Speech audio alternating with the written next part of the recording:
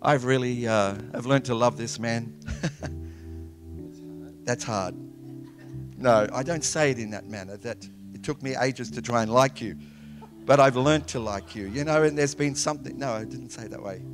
And and you've you've taught me lots. I've learnt to like you because there's so much that's in your heart, Pastor Barry, that that is. Um, you know, like I don't think we've sort of seen it yet. We haven't got it yet, have we? It's all in there. And uh, so, can you just, you know, give us that fresh revelation of Him today? Yes. Of Him to us today? Hallelujah. Yeah. Thank you. Thank you, Father, that you're just going to bless Him in Jesus' precious amen. name. Glory to God. Glory to you, O oh God. And amen. amen. Amen. Thank you. Hallelujah. No, I'm right. Is anybody out there? The lights are only up here. We changed the house lights and let, let us see people. Yes. like to see people's faces. Praise God. God is good. Yes, bless you, Pastor. Thank you for coming from India to bless us Western intellectual people that are bound by reason. Hallelujah. Thank you, Lord. Let's just um, wait on the Lord for a bit we just open up our hearts to the Holy Spirit. We just think God wants to do good things in us this morning. And um, yeah, Father, we just wait on you right now. Thank you. Thank you for your anointing. Thank you for your presence.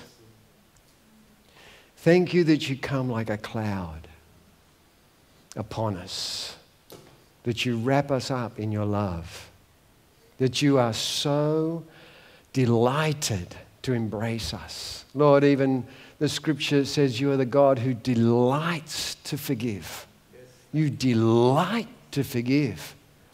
You don't hold back. You're just full of the, the electricity of the desire to forgive and to bless. And you're our Father. You're our God, and we are your children, and we worship you this morning. We worship you. We worship you. We worship you. You are so awesome. And we just seek you to come and touch each one of us, your dear, dear precious children. Hallelujah. Hallelujah. Come, Holy Spirit. Come.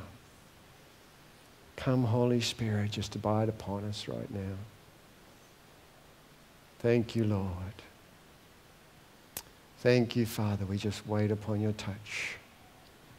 Thank you, Lord. I just want to pray for people today that have had an operation of some sort. That you have had been into a theatre and the doctors have operated you on you, and uh, you've, you've gone through that experience. Sometimes it can be very traumatic or very scary or very, you know, lots of things can happen to you as you go into that situation. Or you've had a traumatic experience uh, that of some sort, maybe an accident, uh, someone else in a car accident, maybe.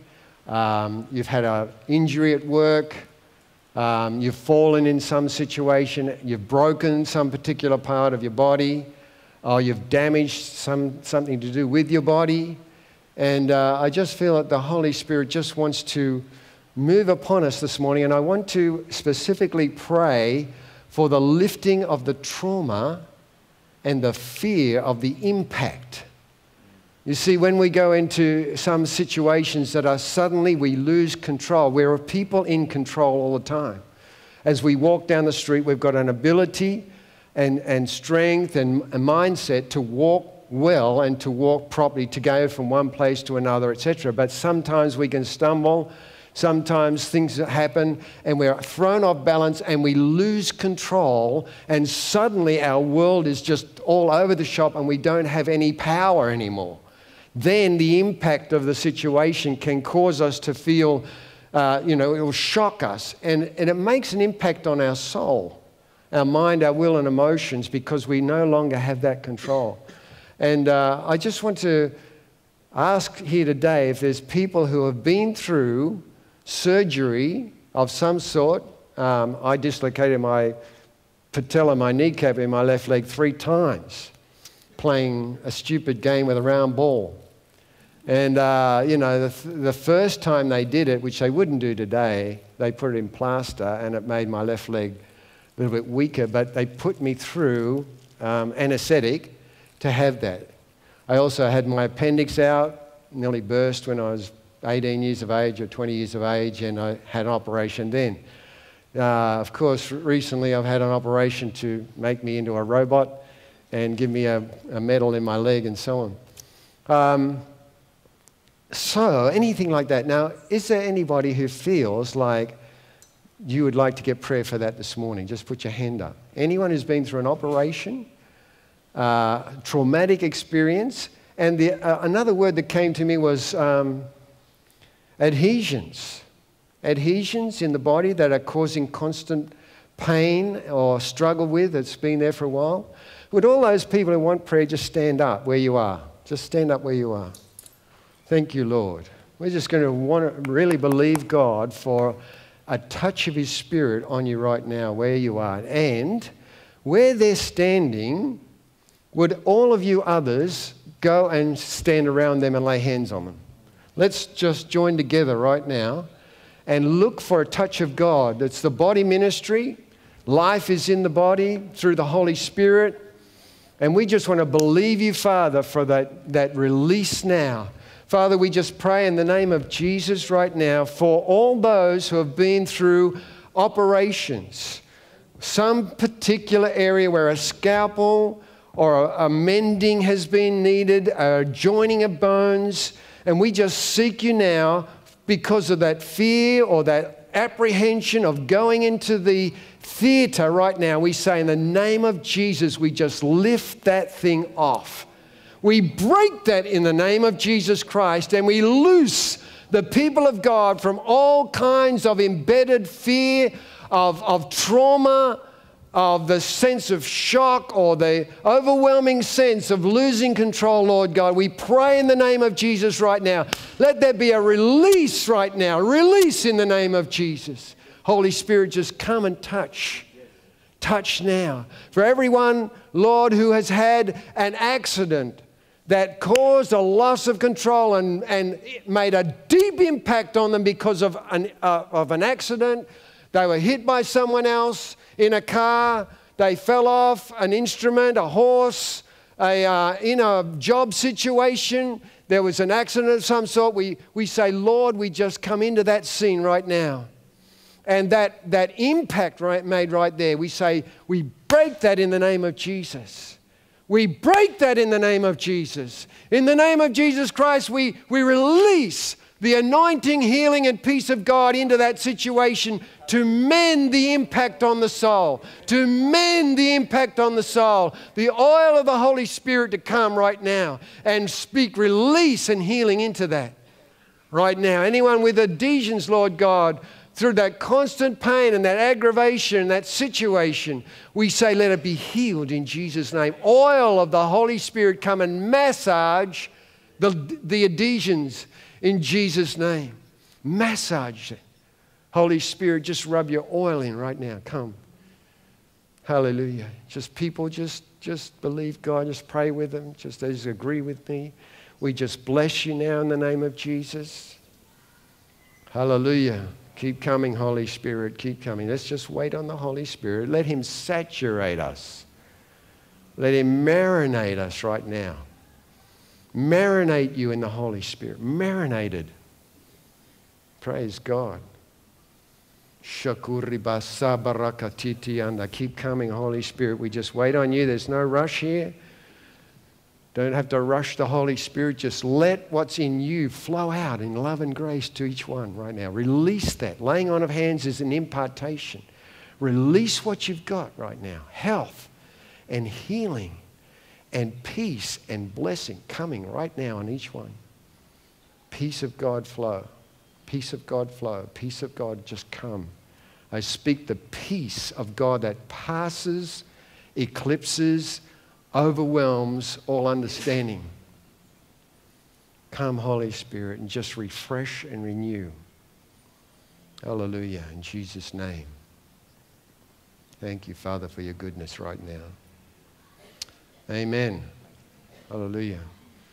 Thank you, Lord. We just trust that the Holy Spirit is doing something in that area of your life today.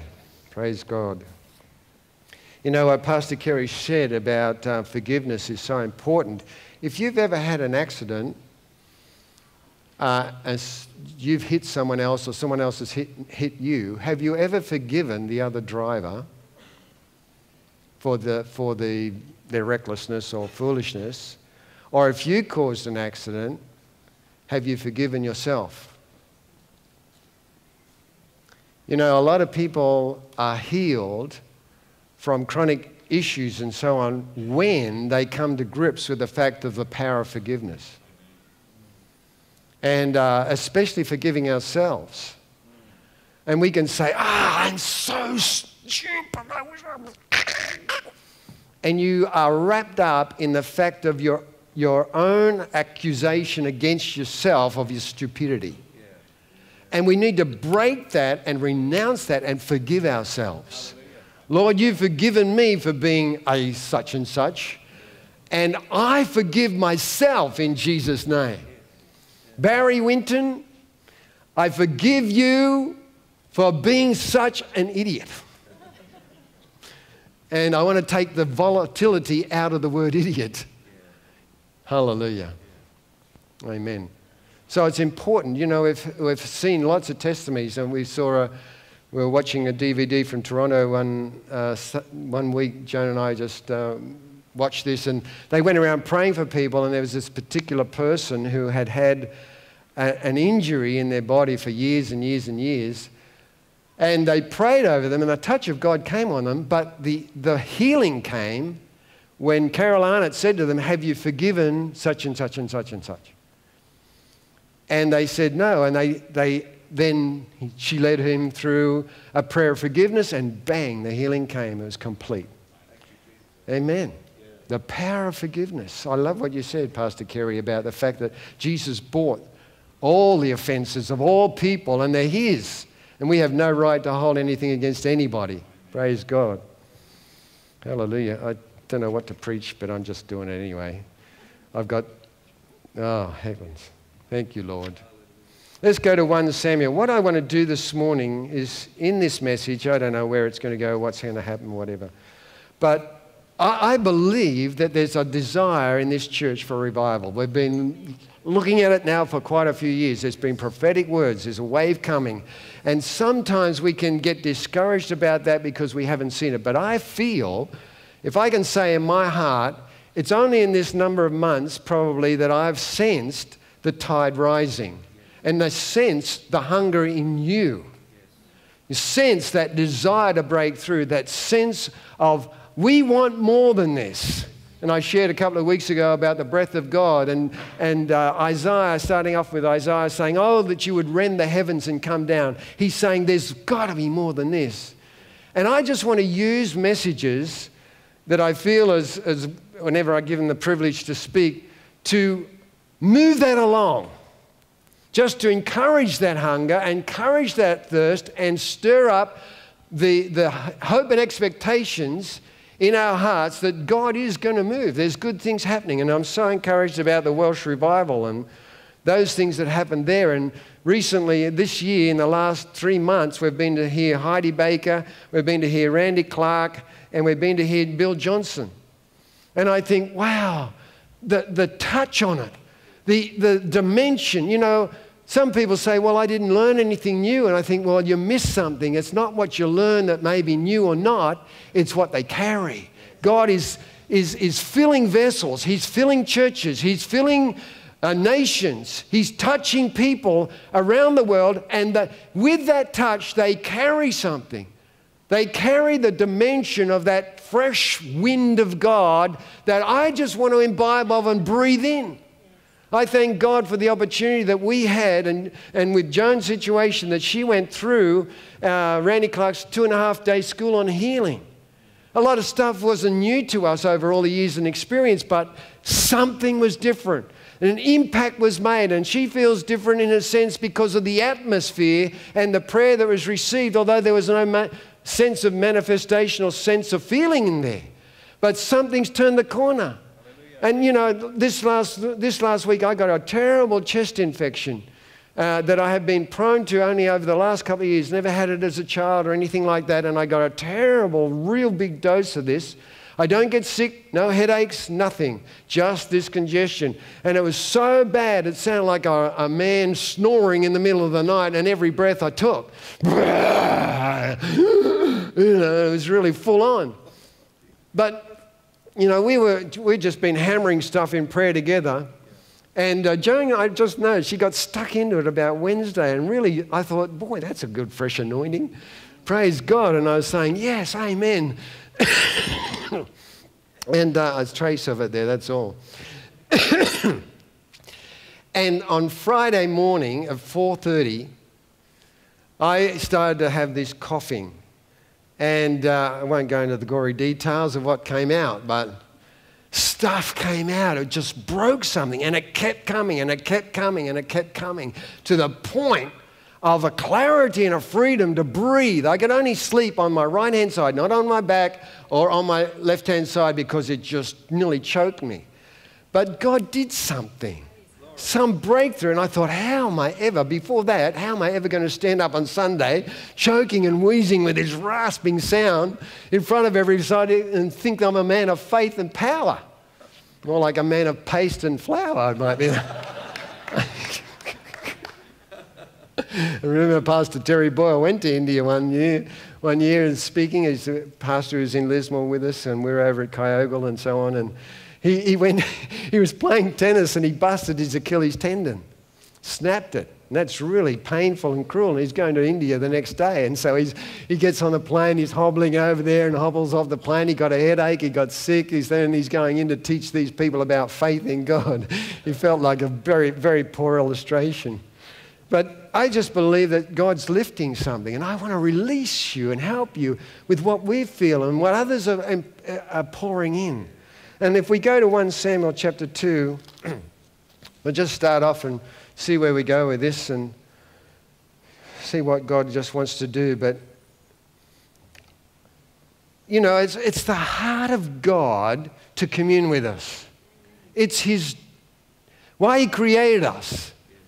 He made us so that He could take what He has and give it away. You know, God, what is the, that term that was used we heard in one of these conferences? It says, God is God, and His whole demeanor, DNA, and drive is to give away everything He's got. That's what makes Him God in all of his fullness and grace, he gives and he gives and he gives and he wants to give away. And he's drawn us here. He's drawn us to this place because he wants to sharpen and hone our hearing skills of his heart. He wants us to hear his heartbeat. He wants us to hear what's on his mind. And this is what comes out here in a, in a very bad time in Israel's history where Eli the priest was getting old and he uh, lost a lot of the hearing of God and the voice of God, and the word of God was dying in the whole land. And uh, Eli's sons, he was a priest, he was a high priest, and his sons were doing wicked things, and they were in a very bad state. And God says here, in this situation to him, he says, uh, chapter 2, verse 35, I will raise up for myself a faithful priest, a faithful priest who will do according to what is in my heart and mind. Who will do according to what presently is in the heart of God. Which means he's raising up a priest, and that was referring to Samuel, the young man that heard the voice of God. He's raising up someone that would be in sync with him, in tune with him, listening to him, had a hunger for God, was separated apart for the things of the purposes of God. and 2 Chronicles 16:9 says this. Don't have to turn to all these scriptures. Um, just uh, 2 Chronicles chapter 16, verse 9. it says, For the eyes of the Lord range throughout the earth. The eyes of the Lord range throughout the earth. The, God is constantly focused on us we are on his radar. We are constantly on his radar. Even if we wander and stray, we may start to go off screen. We'll never be off his radar. The prodigal son was never off the father's radar. He was constantly in his heart. And it says here, they range throughout the earth because God is intensely looking for people to draw into and be partnership with Him in all things. He's not exclusive. He's not separating some bits for us and some bits for Him, says, oh, I will give it to this. He is a giver of Himself and He releases it to us. So He says, The eyes of the Lord range throughout the whole earth to strengthen those whose hearts are fully committed to Him and some just, just different uh, translations. Those whose hearts, the King James Version says, uh, those whose heart is perfect towards Him. Uh, perfection, just, just a, a statement about perfection. God says, Be perfect even as I'm perfect. well, that eliminates all of us immediately. Forget it, let's go back to the world, of flesh, and the devil. No. He's saying, Be perfect even as I'm perfect. How perfect is God? Absolutely. How perfect are we? Flawed in some areas. What he's saying is God lives up to the light that he has, right? He lives up to the full light of the revelation of who he is and what happens. He's calling us to live up to the light that he's deposited in our hearts and walk in it. Are you listening to me? So don't get depressed or discouraged about that. The fact is, God just says, I just looking for those whose heart is in sync with mine and who will follow in my ways and walk in my ways. And He sees us walking in a perfect path, even with our flaws and weaknesses. Hallelujah. It happens. How, how's, it, how's these decrees and these desires met? Well, it's just a matter of constantly opening up ourselves. Look, I know I'm a man of 65 years of age, and I know the flaws and the weaknesses and the issues and the disappointments and being through depression and burnout and all kinds of stuff, got upset and angry with people. Would you believe that? How could anyone get upset with people? Why are you laughing? You know what I'm talking about, and we can get angry and criticize people for all kinds of stuff. Not because, so much for their flaws, which are very obvious to us, but the, the thing within us that seems to tap into that and criticize and, and whatever. But God has given us His Word, the Scriptures, the written Word, which came from His living voice downloaded to people who heard the word, were in sync with his heart, and wrote it down. And the whole Bible is a documentary. It's a documentary of dozens and dozens of people who had an encounter with God, heard the voice of God, and wrote it down. Amen. And we today have this compact library of 66 books that we can turn to anytime we like and read their stories and read their insights and read their understandings and gain hope from what they had experienced. Praise God. but I believe it's also a, God is drawing us into divine encounters like they had. Just because the Bible is secure in the the canon of Scripture and we have that revelation, we have that wonderful. I, I, read the Scriptures every morning and I love just meditating on Scriptures. I love just drinking in the substance of what the Holy Spirit is extracting from that for me. It just refreshes me. It's pure spiritual milk. And that is not a term for babies in that particular scripture. Desire pure spiritual milk. It was a delicacy. Milk and honey was a delicacy for the rich.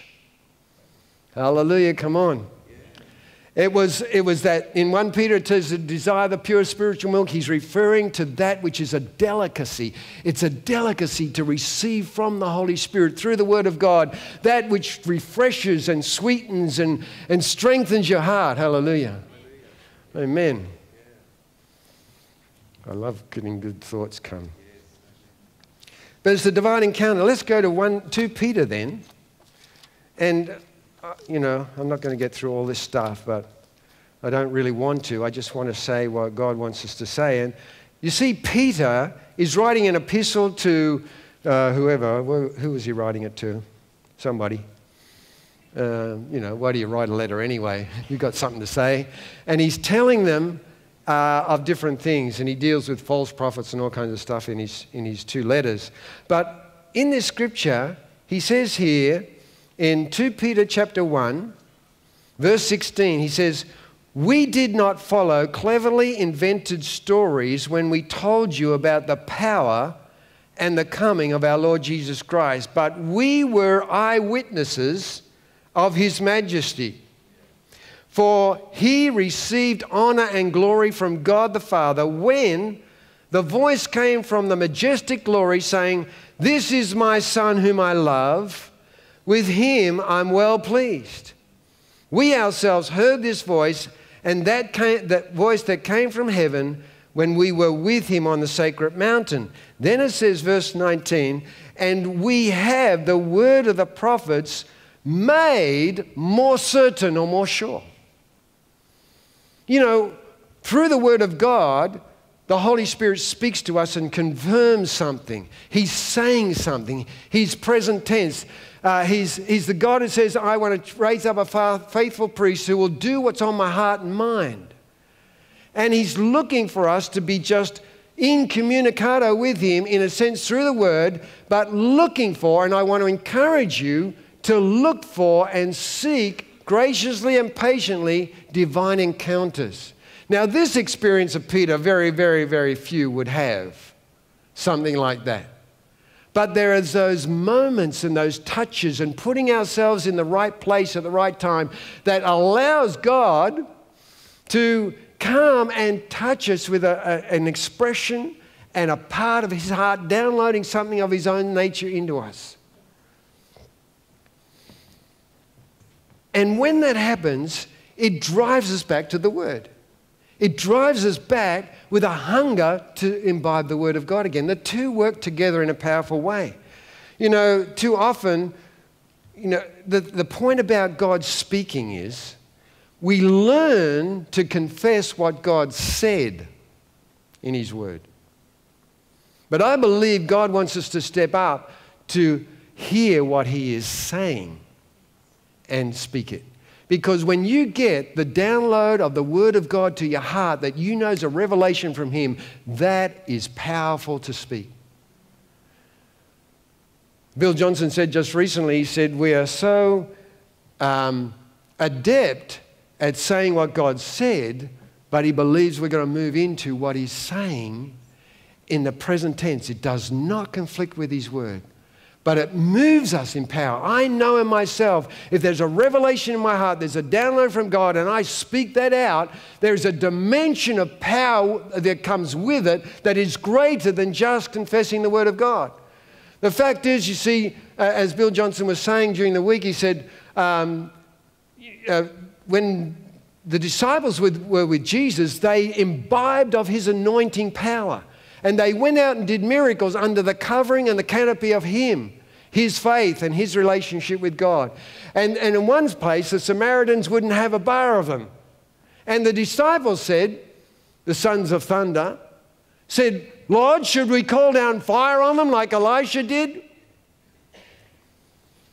There's a really brilliant teaching about how God corrected, how Jesus corrected and discipled his disciples. It's just opened your eyes. But he said, What was legal in a season and a situation in one circumstance is illegal in another. Because God wasn't saying that. Now, listen, that really summed it up for me. The need to not only be standing on the Word of God and confessing it, but be hearing Hearing that word of revelation that confirms with the word and speaking it at the right time will bring release and power and anointing, the breakthrough that won't come any other way. So Peter said, We saw it with our own eyes, the majestic glory. And if you go back to uh, Luke 9, you can keep your finger in the other scripture in Peter, but Luke 9, where this event happened, It says there, um, verse 28, about eight days after Jesus said this, he took Peter, James, and John with him up on the mountain to pray. And as he was praying, the appearance of his face changed, and his clothes became as bright as a flash of lightning. Mark didn't have the same. I mean, these three guys, uh, three Gospels, Matthew, Mark, and Luke, both record this, all record this story. None of them were there. But they heard it from those who were. Mark probably heard it from Peter. I think Mark wrote his uh, gospel from the recording of from Peter at different times. And, and the thing is, Mark says his, his clothes shone so bright, brighter than anyone could bleach them. I thought, well, that's different to lightning, flash of lightning. So Mark was sort of, he's trying, they're all just trying to describe the power and the impact of what was happening to Jesus. So it was a remarkable experience. Uh, then two men, Elijah and Moses, appeared in glorious splendor, splendor talking to Jesus about his departure, etc. Uh, verse 32 Peter and his companions were very sleepy. It seemed like they had a pattern of being asleep when Jesus prayed. Take the Garden of Gethsemane, you know, they're falling asleep. They had a ministry of falling asleep in partnership with Jesus' prayer or something, I don't know. But they were falling asleep. then it says, But when they came fully awake, I mean, they were shocked through what's going on here. Good grief, there's Oh, there's Moses and Elijah, and Jesus like radiant lightning flashing left, right, and center. And it says, fully awake, they saw his glory and the two men standing with him. Then it says down in verse 34 while he was speaking, a cloud appeared and enveloped them, and they were afraid as they entered the cloud, or the cloud surrounded them in other translations. Hallelujah. Let the cloud come and let me be afraid. Let me be afraid.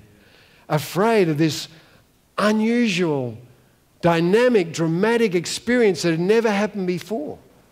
You see, the New Testament is written, the, the, the New Testament was written by people who entered the cloud of glory in a sense, in all kinds of different manners, not like this one. But that connection, that encounter with God, that released revelation, and Paul writes, and Peter writes, and, and James and John and uh, Matthew and Mark write they write what they saw. John said in 1 John chapter 1, he said, We have seen him with our eyes.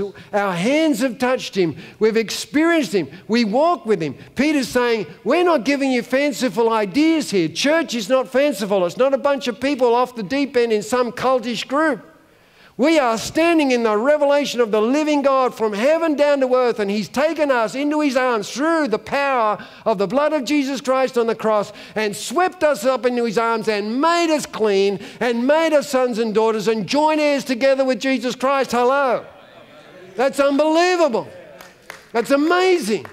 And yet we can diminish all this and think, oh, well, I'm not worthy, I'm not this, and I'm not that. He has made us worthy. The scripture said He's made us blameless. We're included in Christ Jesus. We're hidden with Christ in God. Where else would you rather be?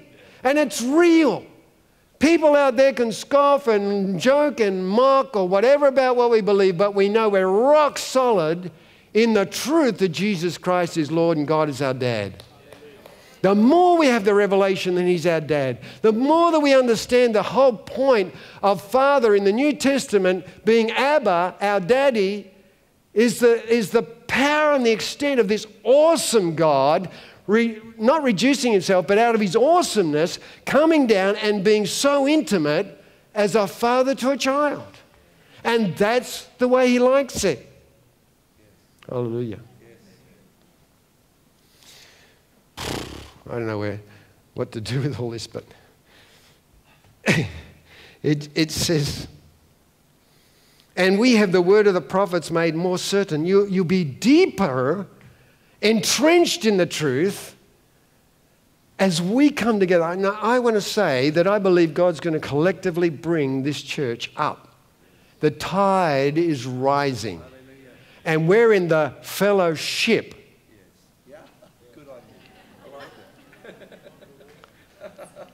Hallelujah. Do you know one of the, uh, my associate pastor in Bougainville in Papua New Guinea said to me once, he said he had a revelation, he saw the tide rising, and you got all these denominations all set around in their buildings and so on. He said, One day the Spirit of God is going to come like a flood, and the tide is going to rise above the denominations, and we'll be all in boats, all sitting on top of the surface, looking at one another, and we'll be forced to come together in the same spirit and the same heart. Shakabandai. Hallelujah. No interpretation.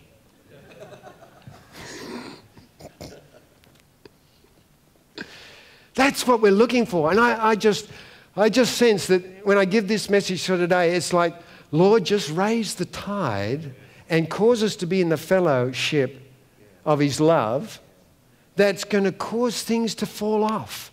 It's going to cause things to break off. It's going to cause error to fall off, or mindsets that are binding us, or doubt, or fear, or uncertainty, or unbelief. Praise God. I tell you what, you are all a people of faith here today. You're all of great faith. You know why I say that? No, you don't, do you? Because you're here. You're right. See, she knows what I'm. You're here. And you're here week after week. You're here serving musicians. Praise God for you guys. Sound desk guys. Pastors, Terry, Kerry, and Barry. And when I preach, I'm a really juicy berry. It says, the juice is in the cluster in Isaiah. it just needs a bit of squeezing. ah, look. I've lost my place. I've forgotten what I was doing. Because you're here. Because you're here. Because you're here. And you haven't given up and you've been faithful. And some of you have been faithful for generations. Boy, that sounds old, doesn't it? It's like the old. Heard this joke, mate. Uh, there's a lot of old people jokes out today, which is really a slant on them.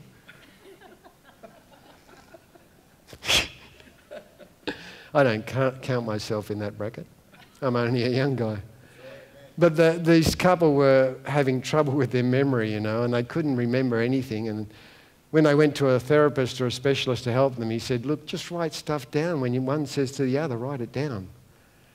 And uh, so, yeah, they thought, well, that's a good idea. So one night, the, the, the old lady said to her husband, I wouldn't mind a bowl of ice cream. And he said, okay, I'll go and get it. He said, don't you, she said, don't you think you should write that down?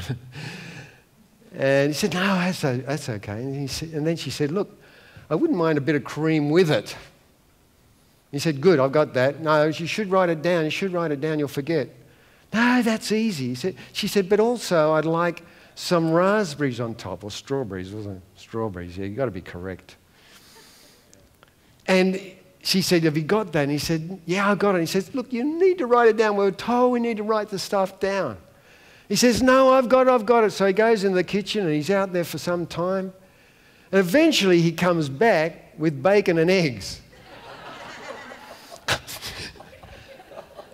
And she looks at this bacon and eggs and she shakes her head and she's disgusted and said, Where's the toast?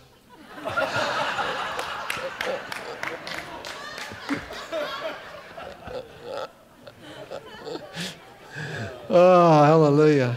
Laughing's good for us. I thought that was really funny. Well, Joan and I are not in that place. We're really in the right place. Now that's completely stuffed up my message, hasn't it? I never intended to share that. you know, the encounter on the mountain was a powerful encounter. But what did the Father say in his voice to, the, to these five, if you like? Peter, James, and John, and Moses and Elijah. Oh no, they'd already gone. He said, This is my beloved Son He'd said that before from heaven as a verbal approval of his son at his baptism before his son ever did anything. So there was no works that he did to gain his father's approval. And the father wanted everyone to know that this is what I want to see, I will see about all of you who come into the kingdom. I approve of you because you're my son. Then it says, in this, in the quote in Peter, it doesn't say it, maybe in some other translations, but you go back to the story and it says, what? Listen to Him. Listen to Him. That's the bottom line of the heart of the Father who wants to speak approval to us, regardless of where we're up to in our own thinking, and encourages us keep in tune with me. I'm the life bread. I'm the flow of life. I'm the power of life. You find your life in me. I'm the tree of life. You see, truth is a person. Truth is a person, not just stuff written down that he wrote and instructed us to read. But the truth of the written must lead us into connection and relationship with a person. The whole point is that we come into the life of God and He downloads it into us and He speaks into us and He's just calling us to walk with Him. Hallelujah. and then I'll finish up with verse 21 and 1 Peter, uh, 2 Peter. It says, well, verse 20 says, Above all, we must understand that no prophecy of Scripture came about by the prophet's own interpretation, and that remains today. And you know, there's a lot of interpretation that has made many, many denominations using the same book. Why is that? Because there's men's interpretation or inspiration and so on. Oh, I better finish, but I, I've got a quote about the, the prophets and so on here that uh, Vine's expository dictionary is just. Uh, no, I'll read it on. Prophecy of Scripture, one's own interpretation. For prophecy never had its origin in the will of man, but men spoke from God as they were carried along by the Holy Spirit. Carried along. Carried along. Carried along. Almost like a leaf in the wind. And, and here it says in Vines, it says to bear, to carry, to, and is rendered being moved. In 2 Peter 1.21, signifying that they were borne along or impelled by the Holy Spirit's power, not acting according to their own wills or simply expressing their own thoughts, but expressing the mind of God in words provided and ministered by Him. What's He saying is the issue that we gain from what He said and be moved along and be moved forward in an expectation of revival. Are you with me? It's not just what he said, but what he's saying, which doesn't conflict with what he said. But it's that present intimacy and relationship that draws us aside, and in him we're carried along. Hallelujah. Carried along carried along. You know, some people say, oh, I don't get carried away with that. Get carried away with God. Get carried away. Carry me away, Lord. Carry me away. It's that sense in the heart that says, God, I just want you to carry me away. God said to Ezekiel and to John, Come up here. Come up here with me. And I say, Lord, just say it, I'll be there. And I believe that's where we are today. I believe that's the point of sharing this morning that it's a message just to help us move along the road. It's nothing that's going to suddenly break through or release something, but to move us along that road towards expectation that God's pouring out His Spirit. And, you know, I love that bit there. It says, and they're afraid when they entered the cloud or the cloud enveloped them. Hallelujah. We don't know what it's going to be like if the sense of God's cloud starts to come. It doesn't have to be visible, but the cloud of His presence. Do you want that? Yes. You do. I know you do. I wouldn't be preaching this. I'm not preaching this to a bunch of dry people who are apathetic and indifferent. I'm speaking this message because God's saying this is where you're at. Yes. This is where we are at. Yes. So why don't you just stand up for a moment and we'll just pray into this and just seek God to, to take us another step Take us another step on into, Lord, make me hungry. So I think the revival guy in, in um, the Wales said there's two things that he feels is the key to the revival that happened. That was humility first and hunger. Well, I just want to pray, Lord, just ramp up the hunger and bring us Don't ever pray for humility. That's dangerous because God will allow you to end up in some very embarrassing situations that is going to allow us to, you know, come to our senses or rear up and oppose what's going on. But, you know, humility and hunger. Oh, Father, you're our Father, you're our Dad. Abba, Father, Daddy, God. We are your sons and daughters who you love with exceptional love. And your deep desire is to draw us into the fullness, the fullness, the fullness of your own heart, and you're not withholding anything. Lord Jesus, you said, Everything the Father has shown me, I have passed it on to you. And then you said, Everything I have received, I give it to the Holy Spirit who will take what I have and give it unto you. There's no loss between the Father, Son, Holy Spirit, and the church. There's no loss. And we just say, Lord God, just come upon us and keep coming upon us and draw us in. Keep drawing us. We're hungry. We're hungry. And we say, Lord, we just deal with pride and stubbornness or, or our own interpretations or our own understandings and our own limitations, whatever that is. God, we don't care what it is. You said you, you are, uh, resist the proud but give grace to the humble. You said, Lord, that the, that the Lord loves the broken and the contrite heart. And we just say, Father, in any pride or stubbornness in our own hearts, we break that in Jesus' name. We resist that. Any, any unforgiveness in our hearts, any resentment to anyone else or any other church or any other situation, we repent of that, Lord, and we just say we break that and we cut that off and we just shed that garbage. We put off the, the garments of, of, of negativity, Lord God, and we shake the dust off our, our clothes, Lord, and we just rise up, as Isaiah 52 says, and sit enthroned, sit where we belong in the heavenly places, as joint heirs with Jesus Christ. And we say, cleanse us and wash us and flow through us. Oh, may we even have an experience like Isaiah who saw the glory of the Lord too. And he, he just saw himself as he really was. He cried out for cleansing. Come, Holy Spirit. We say, Let the tide rise. Come, say with me, Let the tide rise, Lord. Let the tide rise, Lord. Let the tide rise, Lord. And carry us away.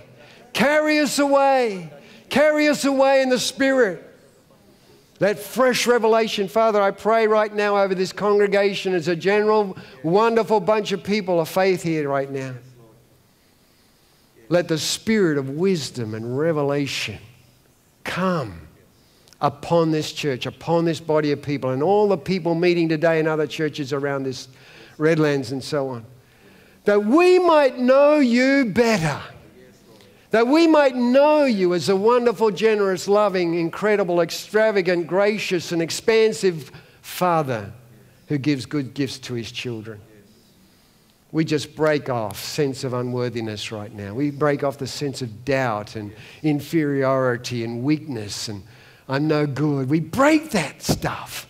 That is not what you say. And Lord, as we've been heard and understood, that we cannot um, allow a minute of a thought in our minds about us that is not in yours. We cannot allow a thought about us that is not in your thoughts about us. And we just claim, Lord God, a, lifting, a rain of pouring out, and the tide rising. And let us all join together in the fellowship of your love in a new dimension. Ramp it up, raise it up, release it in the name of Jesus Christ. Amen. Hallelujah. Praise God. Thank you, Lord. Thank you, Jesus.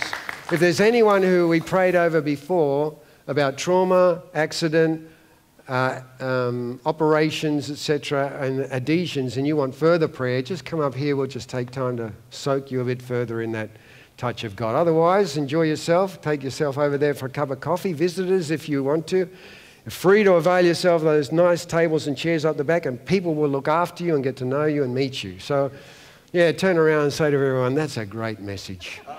That's a juicy berry.